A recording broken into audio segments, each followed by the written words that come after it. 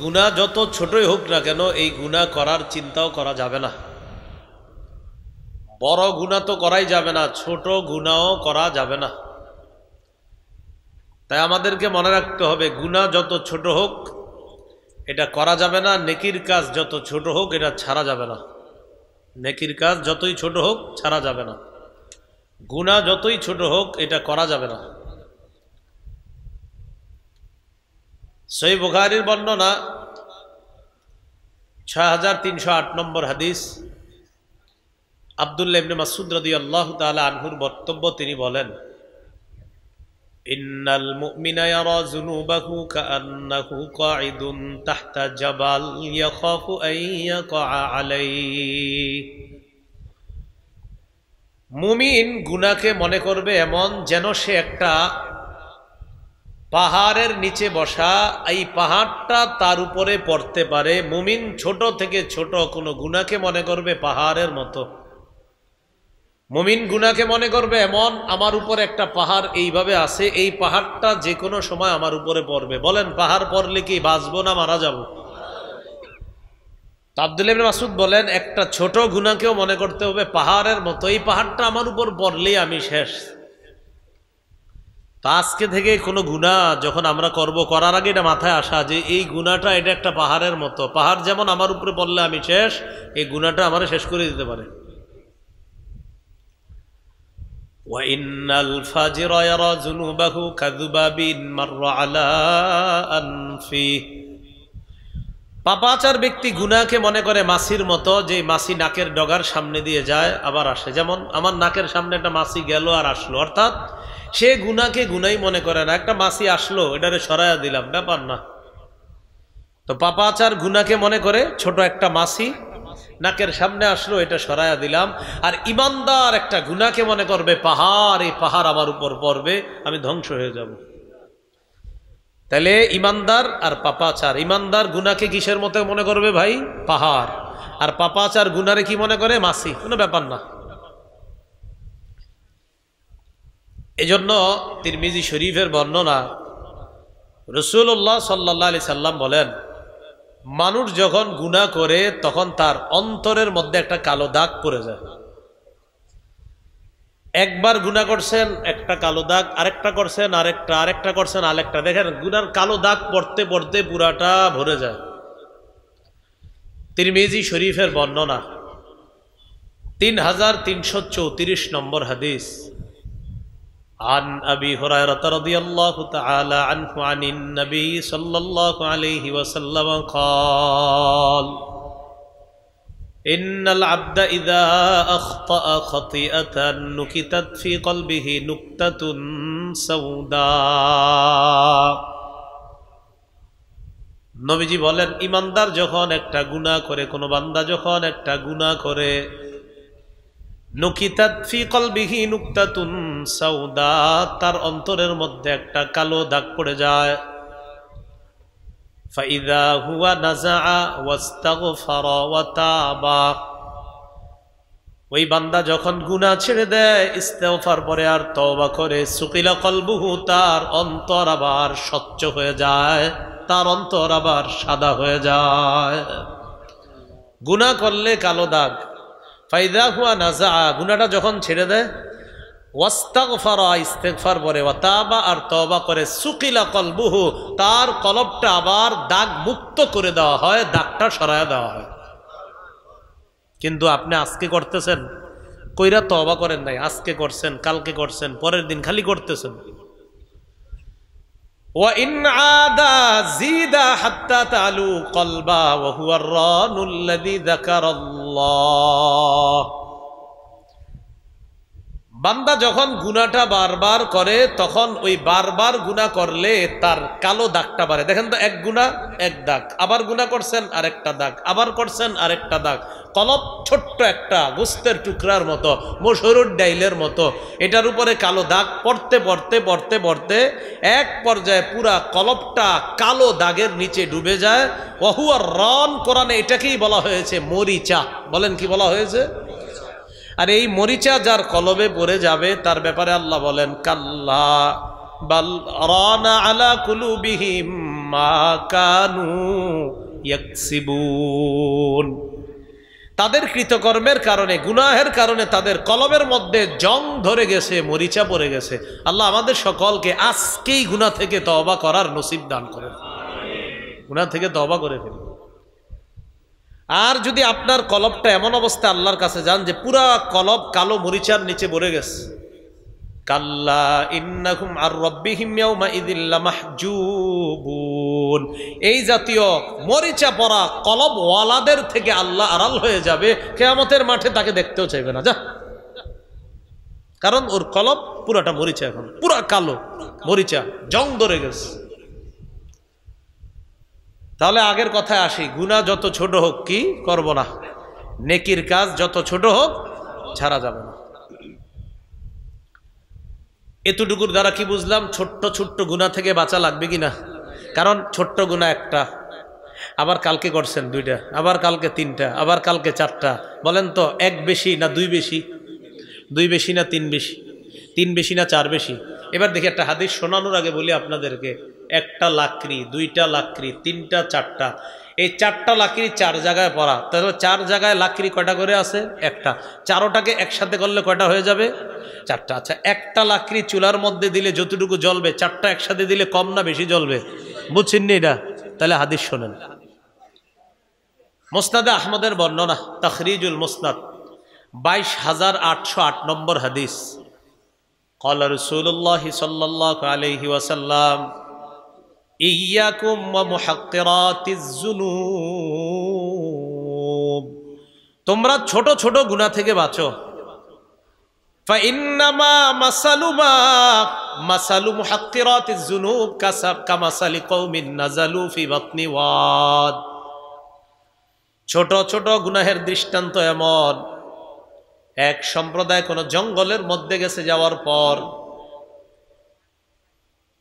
খিদা লাগছে, খাবারের প্রয়োজন। টাকা দেখে আটা আছে, সব আছে, কিন্তু লাকড়ি জ্বালানোর মতো। যেই লাকড়িগুলা দরকার, ওই লাকড়িগুলা নাই। আগুন জ্বালানোর মতো যেই লাকড়ি দরকার, লাকড়ি নাই। সব আছে তেল টেল সব আছে, খালি লাকড়ি নাই। আমির সাহেব চিন্তা করতেছে, এই মুহূর্তে নগদ ক্ষুদা এটা মিটাবো কেমনে? তো লাকড়ি জমাবে কীভাবে? তো ঘটনাচক্রে মনে করেন আমির সাহেবের সাথে আসে তিরিশ জন। তিরিশ জনে তিরিশটা লাকড়ি আনলে একসাথে কটা লাকড়ি হবে? তিরিশটা। আমির সাহেব বুদ্ধি করে কইলেন, তোমরা তিরিশ জন নগদ তাড়াতাড়ি তিরিশটা আনো। আচ্ছা বলেন তো একজনে যদি তিরিশটা আনার দায়িত্ব দিত, তাহলে সময় কম লাগতো না, বেশি লাগতো? কিন্তু একসাথে বলছে তিরিশ জন তিরিশটা, নিয়ে আস। তাহলে আলাদা আলাদা তিরিশটা, আলাদা আলাদা যদি করেন, কম না বেশি? কম। আলাদা আলাদা, প্রত্যেকটা একটা একটা। তিরিশটা এক লগে করলে কম না বেশি? হ্যাঁ রসুল বলেন, এক সম্প্রদায় কোনো এলাকায় গেছে, যাওয়ার পর এবার তারা রুটি রান্না করবে, রুটি খোলায় দিবে। এই রুটি খোলায় দেওয়ার পর সিদ্ধ করে এই রুটি ভাজবে, এটার পর তারা খাবে। কিন্তু সব আছে, শুধু লাকড়ি নাই। সবাইকে বলল, লাকড়ি আনো। একটা একটা লাকড়ি আইনা স্তূপ করার পর এই লাকড়ি দিয়ে আগুন জ্বালিয়েছে।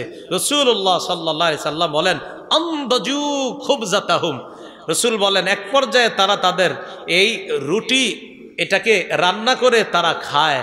আল্লাহ রসুল বলেন, দেখো, যেমনিভাবে একসাথে লাকড়িগুলা হওয়ার কারণে আগুন জ্বালানো সহজ হয়ে গেল, আর আগুন তখন ওই লাকড়িগুলারে পুরে শেষ করে ফেলল। তোমার ছোট্ট ছোট্ট গুণাগুলার দৃষ্টান্ত এমন। তুমি ছোট ছোট গুণা যখন করবা, এই করার পর এগুলা যখন স্তূপের মতো হবে তুহলিকুহু রসুল বলেন, এই ছোট্ট ছোট্ট একটা আলাদা, দশটা হলে একসাথে দশটা, ছোট্ট ছোট্ট বিশটা গুণা হলে আলাদা, একসাথে যদি বিশটা হয়ে যায় তখন বিশটা। রসুল বলেন, এই ছোট্ট ছোট্ট বিশটা, তিরিশটা গুনাহের স্তূপ তুহলিকু বান্দাকে ধ্বংস করে ছাড়ে। তাহলে ছোট গুণা আলাদা, কম। কিন্তু ছোট গুণাগুলা করতে করতে করতে করতে স্তূপ হয়ে যাবে, তুহলিকু বান্দারে ধ্বংস করে ছাড়বে। লাকড়ি আলাদা আলাদা একটা, কম। একসাথে হইলে আগুন জ্বলে, লাকড়ি সব শেষ হয়ে যায়। রসুল বলেন, গুণা ছোট্ট ছোট্ট, যদিও ছোট, কিন্তু একসাথে হলে অনেক বড় স্তূপ হয়ে তোমারে ধ্বংস করে ছাড়বে। আম্মাজান আয়সা সিদ্দিকা রদি আল্লাহ তালা আনহার বর্ণনা ইবনে মাজা চার হাজার দুইশো তেতাল্লিশ নম্বর হাদিস বিসমিল্লা আল্লাহ মালাক আলহামদুল্লাহ শুক্র আম্মাজান আয়সা সিদ্দিকা রদি আল্লাহ তালা আনহা বলেন قالت لي رسول الله صلى الله عليه وسلم ইয়াকি ও মুহাক্কিরাতিল আমাল ফাইন্না লাহা মিনাল্লাহি তালিবা আয়সা ছোট ছোট অপরাধগুলার ব্যাপারেও সাবধানতা অবলম্বন করো।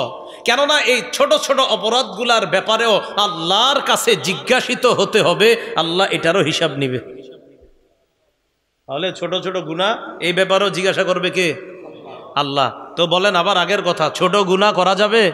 বড়টা তো চিন্তাও করব না, তাহলে ছোট গুণাও করব না, ইনশাআল্লাহ। আল্লাহ কবুল করেন। আমাদের সকলকে গুণা ছেড়ে দেওয়ার তৌফিক দান করেন। সই বুখারির বর্ণনা ছয় হাজার চারশো বিরানব্বই নম্বর হাদিস। দেখেন, আমাদের মাথার চুলগুলা অনেক মোটা। আরে, মাথার চুল, দাড়ি অনেক মোটা? আচ্ছা।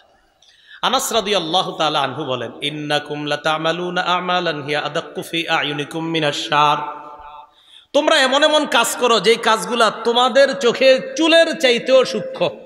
দেখেন তোমরা এমন এমন অপরাধ করো গুণা করো, যেই গুণাগুলা তোমাদের কাছে চুলের চাইতেও সূক্ষ্ম। মনে হয় এটা কোনো ব্যাপার না।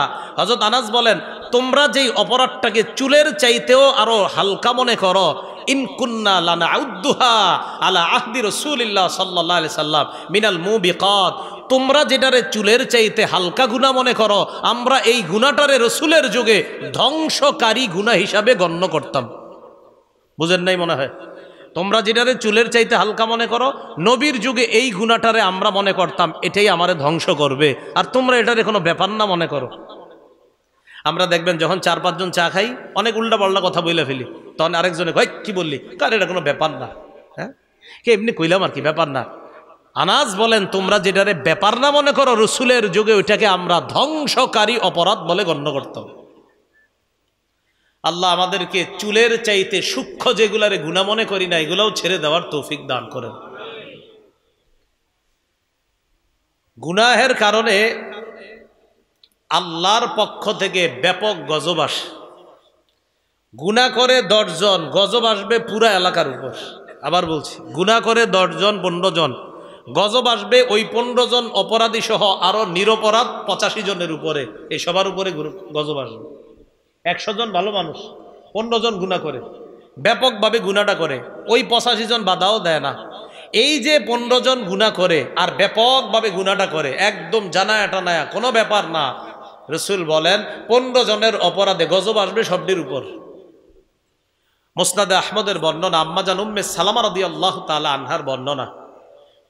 ছাব্বিশ হাজার ছয়শো আটত্রিশ নম্বর হাদিস আম্মাজান আয়সা সিদ্দিকা রদি আল্লাহ তালা আনহা বলেন قال رسول الله صلى الله عليه وسلم إذا ظهرت المعاصي في قرية নবীজি বলেন কোন সম্প্রদায়ের মাঝে কোন কৌমের মাঝে কোন এলাকার মাঝে যখন গুণা ব্যাপক হয়ে যায় বলেন কি হয়ে যায় সুদ খাওয়াটা হুজুর এটা কি ব্যাপক না গোপন এই যে সুদ যে খায় আমরা কিন্তু জানি কারা খায় এলাকার তাহলে বিষয়টা ব্যাপক হয়তো কিছু কইতেছি না কিন্তু ব্যাপক হয়ে গেছে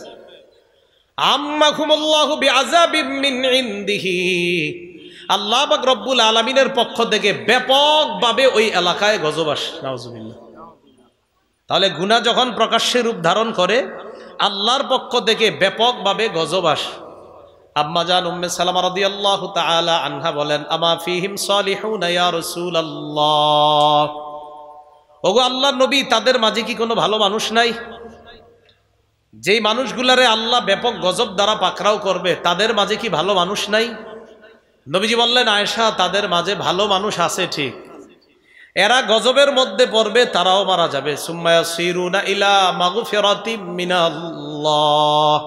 কেয়ামতের ময়দানে ওই ভালো মানুষগুলা আল্লাহর ক্ষমা নিয়ে তারা আলাদা হয়ে জান্নাতি হবে। করোনা ভাইরাসে ভালো মানুষ মারা গেছিনি মাসে অনেক প্রচুর ভালো মানুষও মারা গেছে। এখন করোনা, এটা যে আল্লাহর পক্ষ থেকে গজব নিঃসন্দেহে, কোনো সন্দেহ নাই। কিন্তু এই গজবে অনেক ভালো মানুষও মারা গেছে। নবীজি বলেন, গজব আসলে ভালোরাও পড়বে, দরংশ হবে, মারা যাবে। হ্যাঁ ওই ভালো মানুষগুলা কারা ভালো ছিল কেয়ামতের মাঠে, আল্লাহ তাদেরকে আলাদা করে তাদেরকে জান্নাত দান করবে তাহলে কি বুঝলাম? গুণা যখন ব্যাপক হয়ে যায় আজাব তাদেরকে ব্যাপকভাবে পাকড়া করে। আওয়াজটা একটু কমান ভাই, উপরের আওয়াজটা আর একটু কমান, ওইটা। এখানে আওয়াজ রাখেন।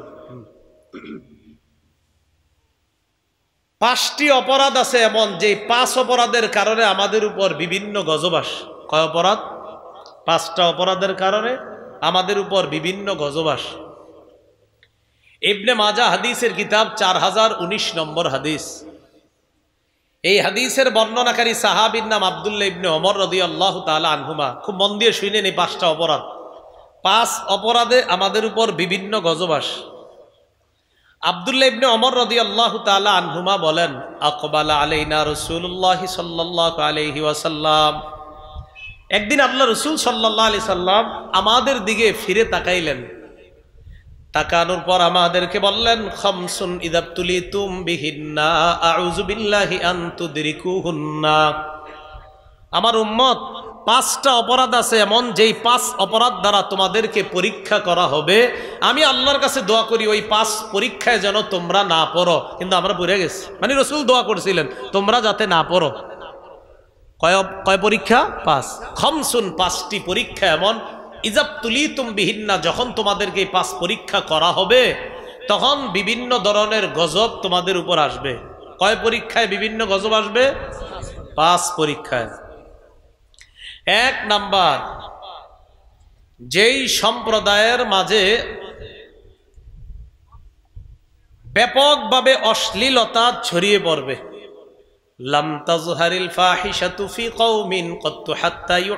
বিহা। কোন সম্প্রদায়ের মাঝে যদি অশ্লীলতা ছড়ায়া পড়ে, আর তারা যদি ঘোষণা দিয়ে অশ্লীলতা করে, আমার বাড়িতে আমি গান বাজাবো আমনের কি? আসেনি? হ্যাঁ। অশ্লীলতা যখন মানুষ প্রকাশ্যে ঘোষণা দিয়ে করবে, আমি বাড়িতে আইনা ব্যাপকভাবে সিনেমা দেখানোর আয়োজন করব, আপনি কথা কও আর কে? হ্যাঁ? এরকম ভাবে যখন অশ্লীলতা ঘোষণা দিয়ে করা হবে, আমার বাসার সাথে আমি গানের অনুষ্ঠান করব, নাচানাচি হবে, গান হবে, এতে আমনের কি? আমনের বাসায় করছি, আমার বাসায় করতেছি। রসুল বলেন, প্রকাশ্যে যখন এমন অশ্লীলতা ছড়ায় পড়বে, তখন কি হবে ওই জনগণের? ইল্লা ফাশাফিহিমুত্তাউন ওয়াল আউজাউল্লাতি লাম তাকুন মাযাদ ফি আসলাফিহিম আল্লাযীনা মাযাও তখন তাদের মাঝে ইল্লা ফাশাফিহিমুত্তাউন মহামারী দেখা দিবে বিভিন্ন। কি দেখা দিবে? করোনা মহামারী ছিল নি কিন্তু আমরা শুধরাই নেই। এই যে করোনা ভাইরাস আইলো না, এটাতে শুধরাই নেই। নারী পুরুষ সবাই মুখ ডাকছিলাম কিনা? তো তখন মুখ ডাকতে কিন্তু কারও সমস্যা হয় নাই। কিন্তু এখন যখন পর্দা করতে বলবেন, বলবে আমার চেহারা গামায় শরীরে সমস্যা হয়। কিন্তু ওই দুই বছর যদি আপনার মুখেও কোনো একটা মাছ না থাকতো, এই সরেন, দূরে সরেন, বাসে উঠেন না। করোনা থেকে বাঁচার জন্য, আমার মা বোন সবাই মাছ পড়ল জাহান নামের আগুন থেকে বাঁচার জন্য পর্দা করতে পারে না। মহামারী দেখা দিবে। দুই নম্বর দেখেন কি কয় এমন এমন রোগ দেখা দিবে, যেই রোগের কথা আগের জনগণ কোনোদিনও শোনে না। বলেন পঞ্চাশ বছর আগে করোনা নাম কে শুনছে? হ্যাঁ? এখন ডেঙ্গু, এই ডেঙ্গুর কথা পাঁচশো বছর আগে কারা শুনছে? তো রসুল বলেন, এমন এমন রোগ বিমারি আসবে, যেই রোগের নাম আগে কোনোদিন জনগণ শোনে নাই। চিকুন গুনিয়া, করোনা, এরপরে হেলেনা, আয়লা নার্গি সিডর, দোলেনা, মাতেনা, কথা কয় না, কত রকমের নাম আসতেছে। রসুল বলেন, এমন এমন গজব আসবে, যেই গজবের নাম আগের জনগণ কখনো শোনে নাই। সামনের দিকে দেখবেন এরকম নাম বের হবে বিভিন্ন। তাহলে বিভিন্ন নাম আসতেছে না গজবে? এটা তো রসুল বলেই দিয়েছেন, তোমাদের উপর অশ্লীলতা ছড়ায়া পড়লে এমন গজব আসবে যে গজবের কথা আগের জনগণ কোনোদিনও শোনে নাই। তাহলে এক নাম্বার, অশ্লীলতা ছড়ায়া পড়বে, পাঁচ পরীক্ষার এক পরীক্ষা। অশ্লীলতার পরীক্ষা, এই পরীক্ষায় এক দল অশ্লীলতা প্রকাশ্যে করবে আর গজব আসবে পুরো জাতির উপর। দুই নাম্বার ওয়াল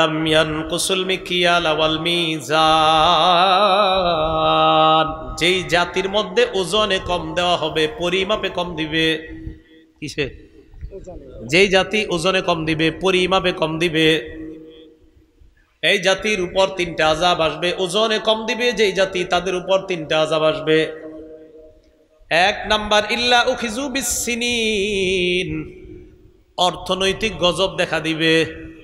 অর্থনৈতিক গজব দেখা দিবে, ফসল হবে না। চারোদিক থেকে মানুষ বিপদে পড়বে। বিপদ আপদ আসতে থাকবে। ওয়াজাউরি সুলতানি আলাইহিম, তাদের উপর জালেম শাসককে আল্লাহ চাপায়া দিবে। যেই জাতি ওজনে কম দিবে, তিনটা গজবের অপেক্ষা করতে হবে। এক, অর্থনৈতিক গজব। দুই নাম্বার, বিভিন্ন ধরনের বালা মুসিবত। একের পর এক বালা মুসিবত। তিন নাম্বার ওজাউরি সুলতানি আলাইহিম, তাদের উপর আল্লাহ জালেম শাসক চাপায় দিবে। তাহলে প্রথম পরীক্ষা অশ্লীলতা, দ্বিতীয় পরীক্ষা ওজনে কম দিবে একদল। ওজনে কম দেওয়া বাংলাদেশে না থাকলেও দুনিয়াতে আসেনি। বাংলাদেশেও আছে। তো তো আছে। তিন নাম্বার ইল্লা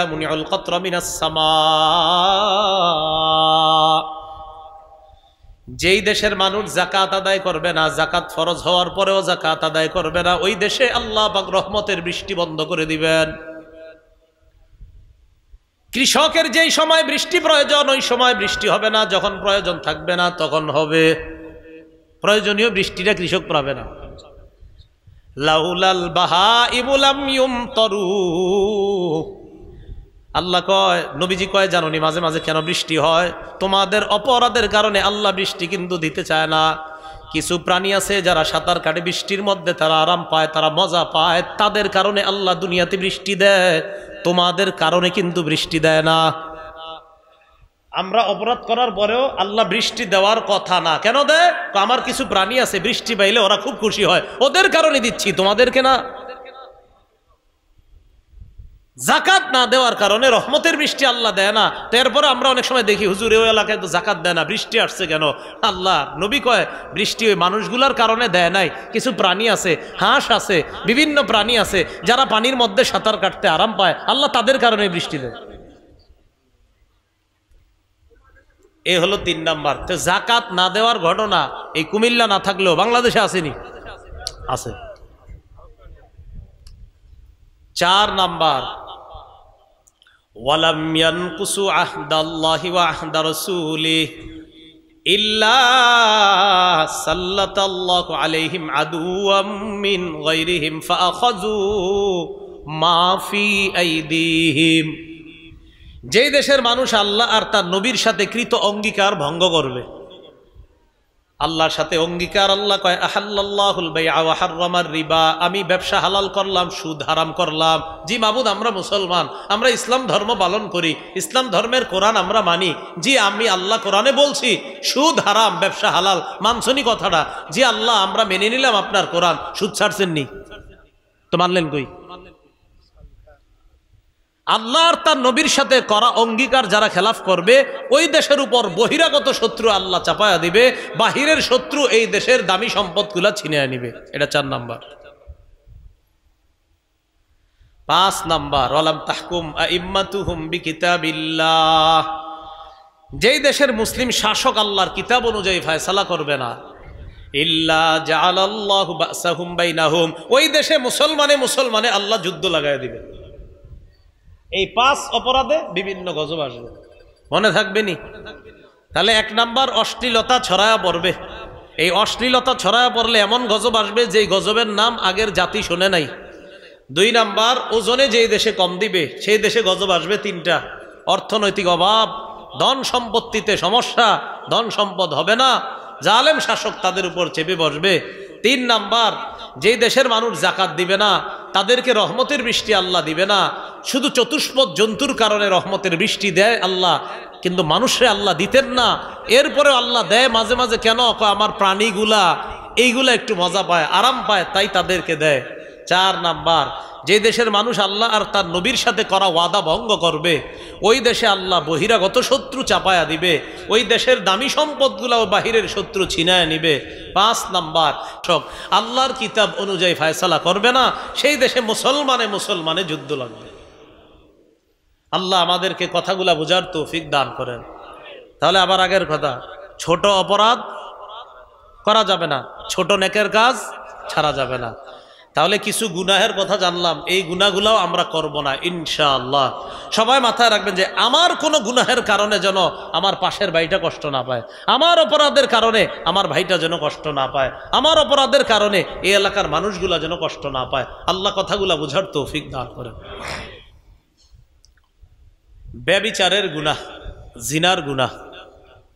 সই বুখারির বর্ণনা ছয় হাজার ছয়শো বারো নম্বর হাদিস। এই হাদিসের মধ্যে আসছে রসুল্লাহ সাল্লাহ আলি সাল্লাম বলেন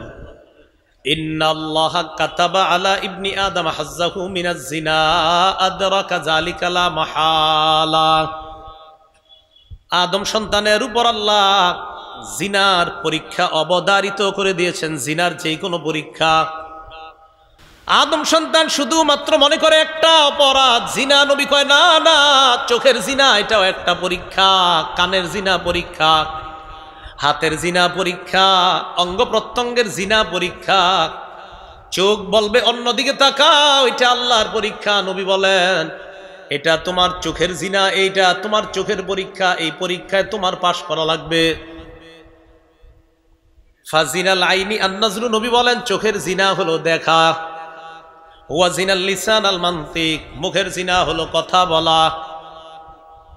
হাসবেন না, যুবক ভাই কারোর সাথে আপনি ফোনে কথা বললেন, অপর পাশে যদি এমন একটা মেয়ে থাকে যার সাথে আপনার পর্দা ফরজ, এটা আপনার মুখের জিনা। কথা বলার পর এবার আপনি উল্টা পাল্টা কল্পনা করলেন, এটা আপনার কলবের জিনা। তার সাথে কোনোদিন সাক্ষাৎ করলেন, এই সাক্ষাতের পর তার দিকে তাকাইলেন, চোখের জিনা, তার শরীরে স্পর্শ করলেন, হাতের জিনা। পা দিয়ে হেঁটে হেঁটে তার সাথে সাক্ষাতের জন্য রওনা করলেন, এটা আপনার পায়ের জিনা। ওয়াল ফরজি সদ্দিকু এই জিনাকে বাস্তবে রূপদান করে ব্যাপকভাবে ছড়ায় পড়ছে। অভিভাবক সন্তানগুলার খবরদারি করেন।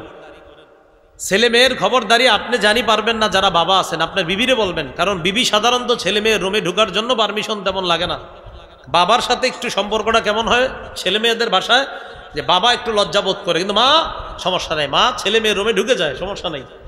এজন্য আপনি আপনার বিবিরে বলেন, ছেলে মেয়ের খবরদারি করো। তাদেরকে যে মোবাইল দিলাম, এই মোবাইল ঠিক মতো চালায় কিনা, নাকি অন্য কোনো অপরাধে তারা লিপ্ত হয়ে যাচ্ছে, খবরদারি করান। আপনি ভাবছেন, সে কেমিস্ট্রি আর ফিজিক্স পড়তেছে রাতের বেলা, দরজা বন্ধ করে, এটা আপনার ধারণা, এটা আপনার কনফিডেন্স কিন্তু ওভার কনফিডেন্স হলো ভিতরে অন্য কিছু হচ্ছে। আল্লাহ আমাদের সকলকে বোঝার তৌফিক দান করে সেই জন্য এদের খবরদারি করা। গুনাহের মধ্যে সবচাইতে বড় একটা গুণা আছে। যেই গুণাটা আমরা স্বপ্নেও না করার চিন্তা করা, আল্লাহর কাছে দোয়া করা, আল্লাহ, আমি যেন এটা স্বপ্নেও না করি, এটা হলো শিরিক। বলেন কি? সবচেয়ে বড় অপরাধ, সবচেয়ে বড় জুলুম। আল্লাহর কাছে বলবেন, আল্লাহ, প্রকাশ্যে তো দূরের কথা। আমি স্বপ্নেও শিরিক যাতে না করি। স্বপ্নে শিরিক করলে গুণা হবে না। কিন্তু এটা বলবেন যে, আল্লাহ, আমি কোনোদিন স্বপ্নেও যেন শিরিক না করি। শিরিক সবচেয়ে বড় অপরাধ, সবচেয়ে বড় পাপ। সুরায় লোকমানের তেরো নম্বর আয়াতে আল্লাহ বলেন ওয়াইদ বিল্লাহ। লাযুলমুন ওই সময়কে স্মরণ করুন, লোকমান যখন তার সন্তানকে উপদেশ দিতে গিয়ে বললেন, সন্তান, আল্লাহর সাথে শিরিক করবা না। শিরিক সবচেয়ে বড় জুলুম। শিরিক করলে জান্নাত হারাম হয়ে যায় বলেন নাউজুবিল্লাহ। সুরে মাইদার বাহাত্তর নম্বর আয়াতে আল্লাহ বলেন ইন্নাহু মাইয়ুশরিক বিল্লাহ فقد حرم الله عليه الجنة ومأواه النار যে ব্যক্তি আল্লাহর সাথে শিরিক করে আল্লাহ তার জন্য জান্নাত হারাম করে দেয় আর তার ঠিকানা হলো জাহান্নাম নাউজুবিল্লাহ তাহলে শিরিককারীর ঠিকানা কোথায় বলেন তো জাহান্নাম শিরিক করা যাবে না শিরিক অমার্জনীয় অপরাধ সুরে নিসার আটচল্লিশ নম্বর আয়াতে আল্লাহ বলেন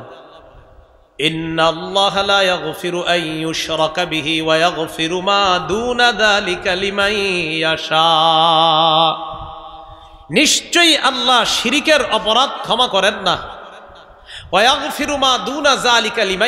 এর চাইতে নিচে যত পাপ আছে, এই পাপের জন্য তবা করলে আল্লাহ ক্ষমা করে দেয়। শিরিকের অপরাধ ক্ষমা করে না। হ্যাঁ শিরিক যদি চিরতরে ছেড়ে দেন, আমি আর শিরিক করব না, এইভাবে তবা করেন, তাহলে ক্ষমা পাওয়ার আশা আস কিন্তু আপনি শিরিকে করছেন, মসজিদে নামাজ পড়েন, সেজদা করেন, আবার মাঝে মাঝে কোথায় জানি যান যাই লাফালাফি করেন, আবার অন্য কারও মানুষের পায়েও সেজদা করেন, এখানে সেখানেও আপনি সেজদা করেন, আল্লাহকেও সেজদা করছেন, আবার অন্য কাউকেও সেজদা করছেন, এটা কেমন সেজদা? এটা শিরিক। আল্লাহ আমাদেরকে শিরিকের গুণা থেকে বাঁচার তৌফিক দান করেন। তাহলে শিরিক অমার্জনীয় অপরাধ শিরিকের কারণে জান্নাত হারাম হয় শিরিক সবচেয়ে বড় জুলুম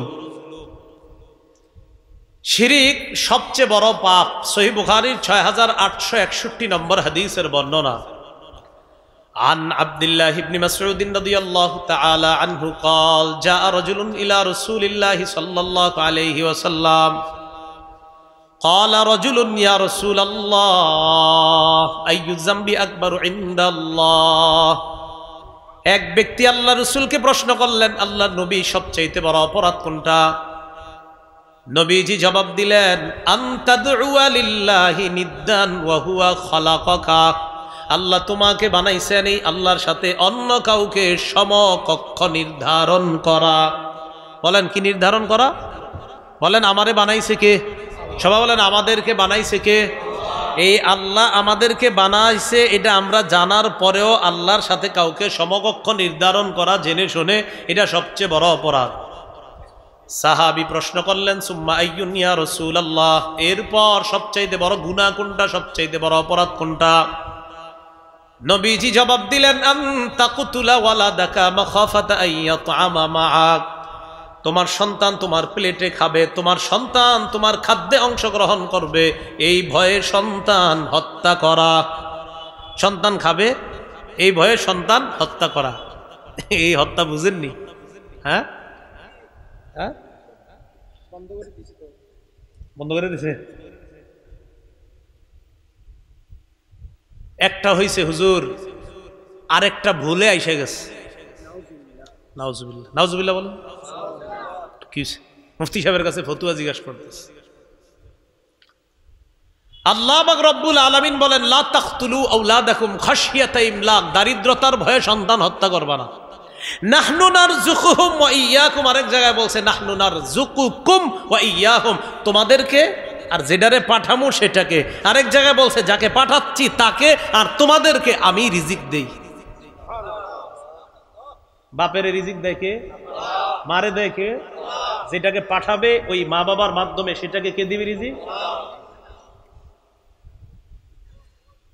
আল্লাহ বলছে, দারিদ্রতার ভয়ে সন্তান হত্যা করবা না। তো দুই নাম্বার সবচাইতে বড় অপরাধ, তোমার সন্তান তোমার খাদ্যে অংশগ্রহণ করবে, এই ভয়ে সন্তান হত্যা করা।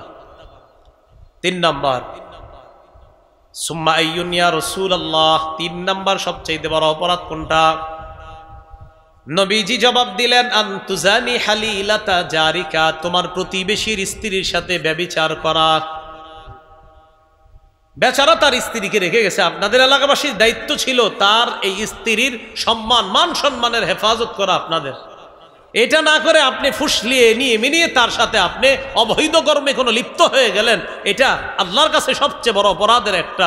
উচিত ছিল তাকে মায়ের নজর, তাকে মেয়ের নজর, তাকে আপনি আপন বোনের নজরে তার দিকে দৃষ্টি দেওয়া। এর মানে আবার তার চেহারা দেখা এমন না। অর্থাৎ এমন মনে করা, সে আমার বোনের মতো, সে আমার মায়ের মতো, সে আমার খালার মতো, তার দিকে লুলুক দৃষ্টিটা দেওয়া এটা আমার অন্যায়। এটা আপনার ভিতরে থাকা উচিত ছিল। উল্টা না করে আপনি সুযোগের সদ্ব্যবহার করছেন এবং সুযোগের অসৎ ব্যবহার সদ্ব্যবহার না অসৎ ব্যবহার করে কারও সাথে আপনি অবৈধ সম্পর্কে জড়িয়ে পড়লেন, যেটা আপনার উচিত হয় না এই প্রতিবেশীর কারও বিবির সাথে এই অপকর্ম করাটা। এটা সবচেয়ে বড় অপরাধের একটা। তাহলে এক নাম্বার শিরিক করা। দুই নাম্বার, আমার সন্তান কে খাবে, কে পালবে, এটারে কে খাওয়াবে, এই ভয়ে সন্তান হত্যা করা। তিন নাম্বার, প্রতিবেশীর কারও স্ত্রীর সাথে অবৈধ সম্পর্কে জড়িয়ে পড়া, অবৈধ সম্পর্ক স্থাপন করা। আল্লাহ হেফাজত করেন। শিরিক সবচাইতে বড় কবিরা গুনা সই বুখারির বর্ণনা ছাব্বিশশো তিপ্পান্ন নম্বর হাদিস, দুই হাজার ছয়শো তিপ্পান্ন। এই হাদিসের বর্ণনাকারী আবদুল্লাহ ইবনে আমর ইবনুল আস রদি আল্লাহ আন তিনি বলেন قال رسول الله صلى الله عليه وسلم الكبائر নবীজি বলেন সবচেয়ে বড় কবিরা গুণা এক নাম্বার আল ইশরাকুবিল্লাহ সবচাইতে বড় কবিরা গুণা এই হাদিসে রসুল চারটা বলছে বলেন কয়টা এক নাম্বার আল ইশরাকুবিল্লাহ আল্লাহর সাথে শিরিক করা এই হাদিসে চারটা আছে কোনো কোনো হাদিসে নয়টাও আছে আরো বেশি আছে এক নাম্বার আল ইশরাকুবিল্লাহ আল্লাহর সাথে শিরিক করা। দুই নাম্বার অকতলুন নাফসি, অন্যায়ভাবে কোনো মানুষ হত্যা করা। তিন নাম্বার ওয়াল্লিয়ামিনুল গুমুস, মিথ্যা শপথ করা। বলেন কি করা? চার নাম্বার অকুকুল ওয়ালিদাইন পিতা মাতার নাফরমানি করা। কোনো বর্ণনা এটার সিরিয়াল তিন নাম্বার বা দুই নাম্বার পিতা মাতার নাফরমানি করা। এক নাম্বার শিরিক করা, দুই নাম্বার ধরতে পারেন পিতা মাতার নাফরমানি করা, তিন নাম্বার কাউকে হত্যা করা, চার নাম্বার মিথ্যা শপথ করা। এই বর্ণনায় আরেকটা আসছে মিথ্যা কথা বলা, শাহাদাতু জুরের কথা আসছে, আপনার ইয়ামিনুল গুমুসের পরিবর্তে শাহাদাতু জুর মিথ্যা কথা বলা। এই চারটা অপরাধ সবচেয়ে বড় প্রধান কবিরা গুণা তো এক নম্বরে সিরিয়ালে রসুল বললেন, শিরিক করা। বলেন কি করা? তাহলে আসেন, ছোট গুণা ছোট গুণা আর এই কবিরা গুণাও এটা কি শুধু করা যাবে না, স্বপ্নেও না? ওই যে স্বপ্নেও না, আল্লাহ, স্বপ্নেও যাতে শিরিক না করি, এটা বলা। তাহলে ছোট গুণাও তো করবই না, বড় কোনো গুণা আল্লাহর বলব, আল্লাহ, এটা যেন স্বপ্নেও আমি শিরিক না করি, মাবুদ। শিরিক করবেন? শেষ, বরবাদ, একদম সব শেষ। আল্লাহ আমাদেরকে শিরিকের গুণা থেকে বাঁচার তৌফিক দান করেন। এবার আপনাদেরকে একটা আয়াত শোনাই কোরআনের। দেখেন, আমাদের নবীজিকে আল্লাহ কি বলছে? আল্লাহর পরে এই জগৎ বলেন, পরের জগৎ বলেন, যত জগৎ বলেন, আল্লাহর পরে যিনি শ্রেষ্ঠ, তিনি হলেন মোহাম্মদুর রসুল্লাহ সাল্লাহ এই নবীকে আল্লাহ কি বলছে দেখেন? সুরে জুমারের পঁয়ষট্টি নাম্বার আয়াতে আল্লাহ বলেন, লাইন আশরক্তা আমালুকা।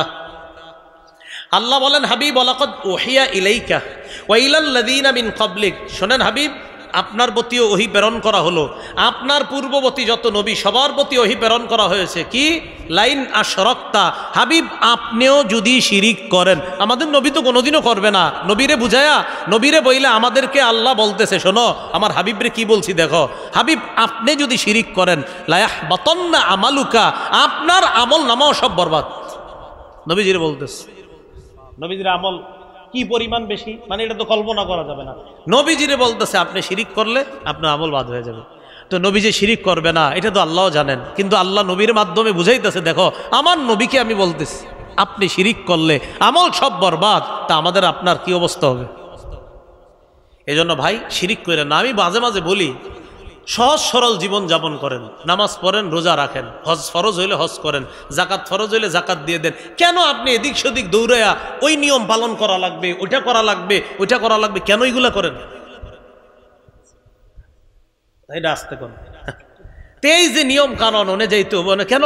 সহজ সরল ভাবে জান্নাতে যাইতে ভালো না আপনার? আপনার না, হুজুর, আমি এত সোজাই কিনলে যাব। আগে পঞ্চাশ ষাট বছর জাহান নামে ঘাটি, তারপর যাই। আরে? কেন? জান্নাতে যাওয়াটা তো আপনারে বলতেছে, হালাল খাও, নামাজ পড়ো, রোজা রাখো জাকাত ফরজ হলে জাকাত দাও, হজ ফরজ হলে হজ করো, শেষ। হালাল খাও। নামাজ পড়ো, রোজা রাখো এই দিন করতেই হবে।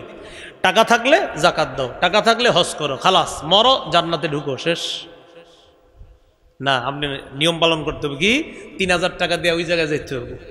পাঁচ হাজার খরচ করে তিন দিনে, চার দিনে, পাঁচ দিনে, হুজুর, অমুক জায়গায় যামু, অনেক দিন ধরে আমার পুতের বউর ছেলে হয় না, মেয়ে হয় না একটা ব্যাপার আছে ওখানে গিয়া সেই ব্যাপারটা করতে আল্লাহ হেফাজত করেন। আল্লাহ হেফাজত করেন। আমি কুমিল্লার ছেলে হিসেবে আপনাদের প্রতি মায়া কম না বেশি? বেশি। আল্লাহ হেফাজত করেন। আল্লাহ আমাদের কুমিল্লাবাসী সবার সাথে আমারে জান্নাতে দেখা করান। সব মুসলমানদের সাথে যেন আমরা একত্রিত জান্নাতে হতে পারি, আল্লাহ তৌফিক দান করেন। বিশ্বাস করেন, একদম দিল থেকে বলতেছি, সহজ বিষয়গুলা কেন কঠিন বানান? ছোট অপরাধ করা যাবে না। বড় অপরাধ, স্বপ্নেও দেখা যাবে না। ছোট অপরাধ, বড় গুণা দেখা যাবে আচ্ছা। শিরিক করলে এত বড় অপরাধ যে দশটা বড় অপরাধের কথা রসুল সাল্লাহ আলি সাল্লাম হজরত মোয়াজ ইবনে জামাল রাদি আল্লাহ তালা আনহুকে শিক্ষা দিয়েছেন মোয়াজ আমি তোমার দশটা বিষয় শিখাইয়া দেই। এই বিষয়গুলা তুমি ভালো করে মনে রাখবা। কটা বিষয়? তো এই দশটা বিষয় গুরুত্বপূর্ণ কিনা? এগুলো আমাদেরও শিখা লাগবে কিনা? মোসনাদে আহমদ কিতাবের নাম বাইশ হাজার পঁচাত্তর নম্বর হাদিস। মুআজ ইবনে জাবাল আল্লাহ তাআলা আনহু বলেন কালিমাত। নবীজি আমারে দশটা জিনিস শিখাইয়া দিছেন, আপনারা মুখস্থ করা লাগবে। করবেন নি? আচ্ছা। এক নম্বর, লা তুশরিক বিল্লাহি শাইআ ওয়া ইন কুতিলতা ওয়া হুররিকতা তোমাকে যদি জ্বালিয়ে দেওয়া হয়, তোমাকে যদি পুড়িয়ে দেওয়া হয়, তুমি আল্লাহর সাথে শিরিক করবা না। তোমার যদি জ্বালিয়ে দেওয়া হয়, তোমাকে যদি পুড়িয়ে দেওয়া হয়, আল্লাহর সাথে শিরিক করবা না। তাহলে এক নম্বর। দুই নাম্বার আহলিকা ওয়া মালিকা। মুআজ, তোমার মা বাবা যদি তোমাকে সম্পদ থেকে বের করে দেয় তোমার মা বাবা যদি তোমাকে পরিবার থেকে বের করে দেয়, সম্পদ থেকে আলাদা করে দেয়, এরপরেও মা বাবার নাফরমানি করবা না। মা বাবা বলবে, বেরো। পাল্টা বেয়াদবি করেন না। আপনি কি মনে করেন, আপনি আব্বা আম্মা আপনার নিব না? বাইর করে দিয়ে দুই দিন পরে দেখবেন, মা চিল্লে এগোবো আমার ছেলেই না দেন, নাহলে আমি মরে যাব। তারপরে বাপে আপনার গুজে নিব। এই দুই দিন পরে আপনারা ছাড়া খাইতে পারবে না। এই জন্য মাইনে নিবেন। রসুল বলছেন, তোমার মা বাবা যদি তোমাকে সম্পদ থেকে বের করে দেয়, ঘর থেকে বের করে দেয় এরপরেও পাল্টা বেয়াদবি করবা না, নাফরমানি করবা না। তাহলে এক নাম্বার, জ্বালিয়ে পুড়িয়ে দিলে শিরিক করবা না। দুই, ঘর থেকে বের করে দিল মা বাবার, নাফরমানি করবা না। তিন নাম্বারটা। তিন নাম্বারটা, ওয়াদা করবেন, আজকে থেকে করব না ইনশাল্লাহ তিন নাম্বার, ওয়ালা তাতরুকান্না সালাতান মাকতুবাতান মুতাআম্মিদা। মুআজ একক্ত ফরজ নামাজ ইচ্ছাকৃতভাবে কখনো ছেড়ে দিবা না। বলেন, আজকে থেকে কোনোদিন স্বেচ্ছায় একক্ত ফরজ নামাজ ছেড়ে দিব না। ইনশা আল্লাহ ঠিক আছে না? فإن من ترك صلاة مكتوبة متعمدا فقد برئت منه ذمة الله এক উক্ত ফরজ নামাজ যদি কেউ ইচ্ছাকৃতভাবে ছেড়ে দেয় তার উপর থেকে আল্লাহর দায়িত্ব উঠে যায় যা তোর যেমন চা কর তুই নামাজ পড়স নি।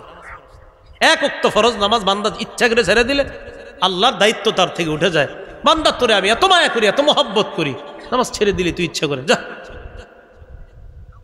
আল্লাহ হেফাজত করে তাহলে স্বেচ্ছায় এক অক্ত ফরজ নামাজ আজকে থেকে আমরা ছেড়ে দিব না। চার নাম্বার, ওয়ালা তাশরাবান্না খমর, মদ পান করবা না, ফাইন্নাহু রাসুকুল্লি ফাহিশা। মদ সমস্ত অশ্লীলতার মূল। মদ খাইলে বিবিরে কয়, মা মারে কয় বিবি? মদ খাইলে মাথা ঠিক নেই, পাগল হয়ে যায় তো চার নাম্বার, মদ খাইবা না। পাঁচ নাম্বার ইয়া কাওয়াল মাসিয়া, ফাইন্না বিল মাসিয়াতি হাল্লা সাকাতুল্লাহ। কি সুন্দর কথা। আল্লাহর নাফরমানি করবা না আল্লাহর নাফরমানির কারণে গজব আসে। বলেন বলেন আল্লাহর নাফরমানি করবা না? এবার আমরা বলে আল্লাহর নাফরমানি করব না। আল্লাহর নাফরমানি করলে আল্লাহর গজব আসে। সোজা হিসাব মাঝে বলতেছে, তুমি আল্লাহ নাফরমানি করো না। নাফরমানি করলে গজব আসে। তো কেমনে বুঝাইলে বুঝবেন? বলেন, এই সহজ কথাটা কে বুঝেন নাই? যে মহাজ আল্লাহ নাফরমানি করো না। নাফরমানি করলে আল্লাহর গজব আসে। এলো পাঁচ নাম্বার, ছয় নাম্বার।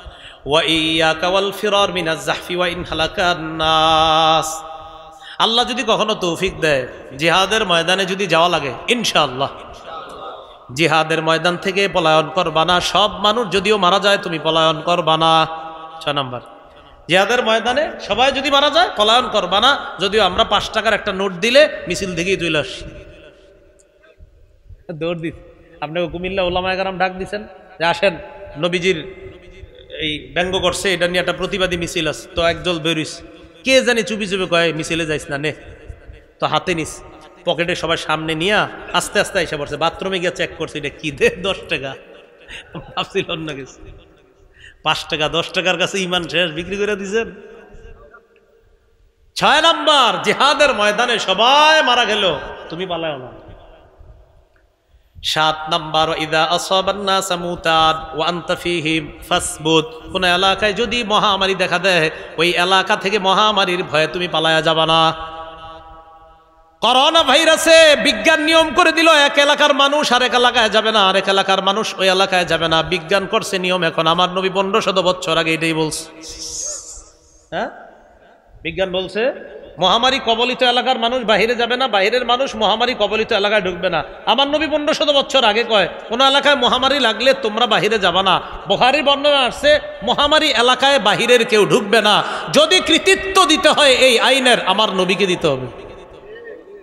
আমার নবী তো আগে বলে গেছে। এই গেল ষাটটা কয়টা? তো এই ষাটটা অথবা মনে রাখবেন শেষের তিনটা গুরুত্বপূর্ণ। আবার বলছি, এক নাম্বার, জ্বালিয়ে পরিয়ে দিলেও শিরিক করবা না। দুই নাম্বার মা বাবার নাফরমানি করবা না। তিন নাম্বার, ফরজ নামাজ ছেড়ে দিবা না। চার নাম্বার, মদ খাইবা না। পাঁচ নাম্বার, নাফরমানি করবা না। ছয় নাম্বার, জেহাদের ময়দান থেকে পালিয়ে যাবে না। সাত নাম্বার, কোনো এলাকায় তুমি আসো আর সেখানে মহামারী লাগলে সেখান থেকে তুমি পালিয়ে যাবে না। কটা হলো? সাতটা। আট, নয়, দশ। সবাই মন দিয়ে শোনেন, বিশেষ করে অভিভাবকরা মন দিয়ে শোনেন। আট নাম্বার ও আনফিক আলা ইয়ালিকা মিন তৌলিক তোমার সামর্থ্য অনুযায়ী পরিবারের জন্য খরচ করো। আমরা যারা সন্তান আছি, আপনি আপনার বাপেরে মাঝে মাঝে কোন, আব্বা, আমারে আপনি অমুক মোবাইলটা যদি না কিনে দেন, আমি ইন্টারে ভর্তি হব না।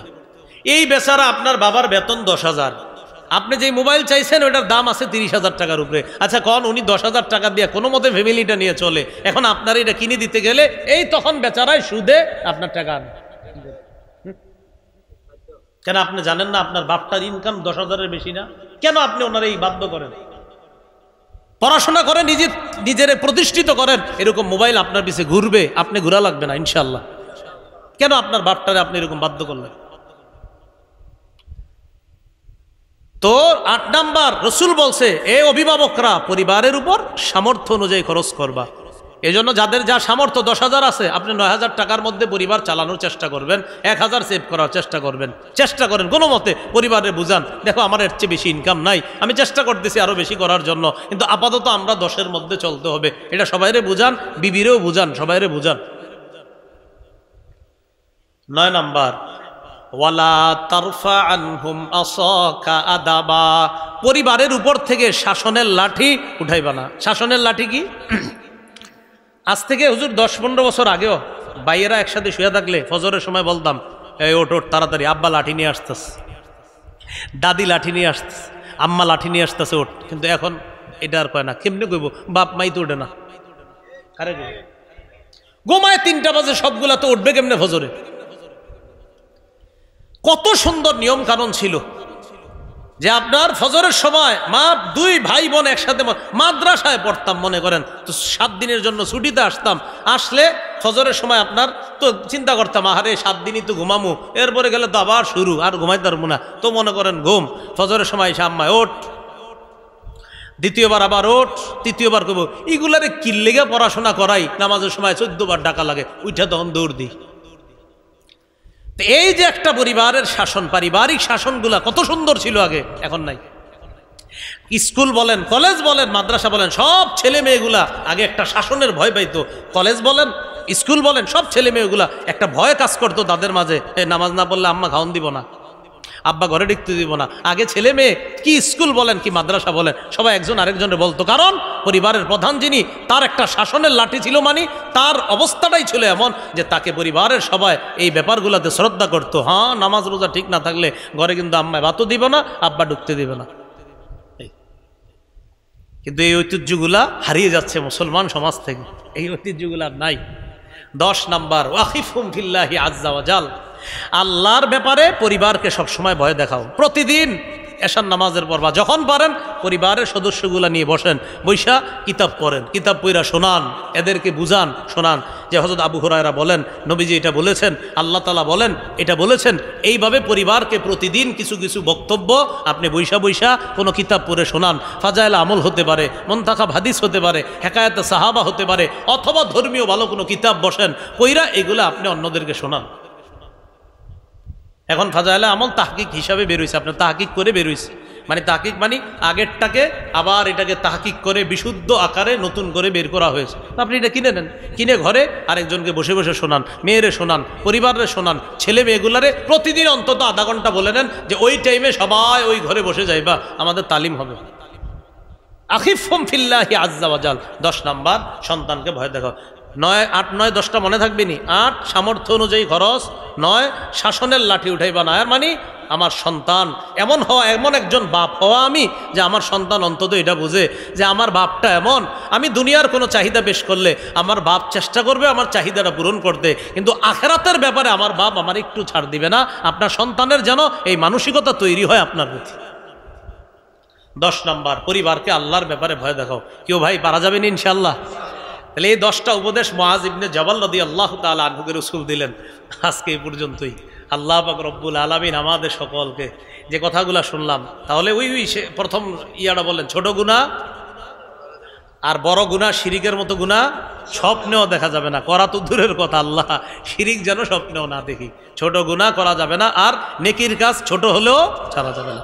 আল্লাহ আমাদের সকলকে ছোট, বড়, সব ধরনের গুণা থেকে বেছে আমরা সবাই যেন সুন্দর একটা জীবন নিয়ে জান্নাতে আবার একসাথে হতে পারি। আল্লাহ তৌফিক দান করেন। সুবাহান আল্লাহ বেহামদি সুবাহান আল্লাহ বেহামদিকা। আসাদু আল্লাহ ইলাহ। খাদিজাতুল কুবরা রদি আল্লাহ তালা আনহা মাদ্রাসা মাশাল্লাহ হ্যাঁ হ্যাঁ। এই বাইরে আমি আগে কখনো দেখি নাই, হয়তো দেখা হয়েছে বাড়ি, পরিচয় হয় নাই। আজকে প্রথম দেখছি। খুব ভালো মানুষ আসলে ভালো মানুষ। আর আসার পরে এই সব দৌড়ে দৌড়ে কাজ করতে